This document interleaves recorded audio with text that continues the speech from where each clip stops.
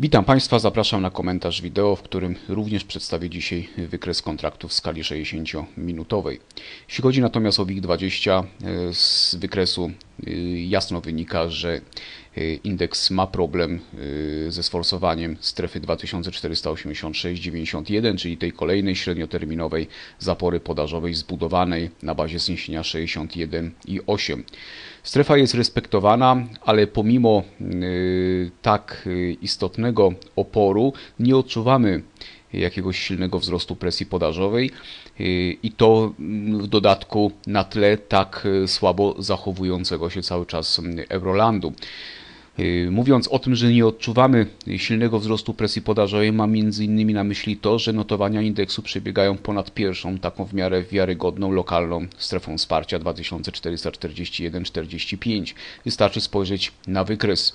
Jedna median line, druga ML, dość istotne zniesienia wewnętrzne. To tworzy z tego obszaru dość istotne wsparcie, tak więc y, zanegowanie y, tej analizowanej zapory popytowej to automatyczna zapowiedź kontynuacji ruchu spadkowego, a co za tym idzie, no, zmniejszy, zmniejszyłoby się również w takim przypadku prawdopodobieństwo szybkiego sforsowania tego kluczowego węzła 2486-91.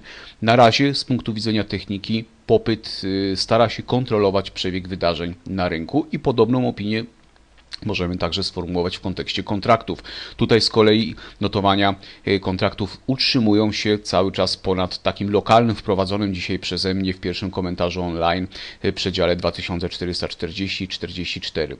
Tak jak sugerowałem, to jest intradayowa strefa wsparcia, zbudowana głównie na bazie projekcji takiego potencjalnego symetrycznego układu ABCD, ale również przebiega tutaj niebieska median line w pobliżu czerwona median line, e, więc wydaje mi się, że jest to potencjalnie istotny przedział cenowy. Jego zanegowanie zatem powinien implikować ruch w kierunku kluczowego, eksponowanego przeze mnie w komentarzu porannym węzła 2419-23. Na razie to już o czym mówiłem w przypadku WIG-20, pomimo słabo zachowującego się Eurolandu, kontrakty utrzymują się ponad lokalnym wsparciem, co no, należy interpretować pozytywnie. Indeks DAX, tutaj cały czas istnieje zagrożenie przełamania e, dość istotnej zapory popytowej 8228,58. Strefa, jak pamiętamy, wytyczona na bazie projekcji potencjalnego układu, symetrycznego układu ABCD wraz z przebiegającą tutaj median line. Zanegowanie tego wsparcia to zapowiedź kontynuacji ruchu spadkowego na DAXie. I podobna sytuacja na S&P.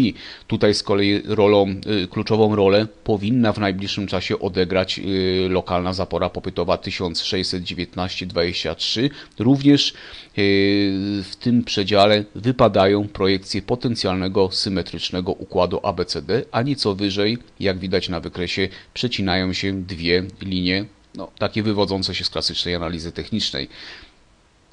W moim odczuciu dla takiej pewnej klarowności y, sytuacji, sytuacji technicznej wykresu w ujęciu krótkoterminowym popyt nie powinien zatem dopuścić do przełamania strefy 1619-23. Dziękuję bardzo.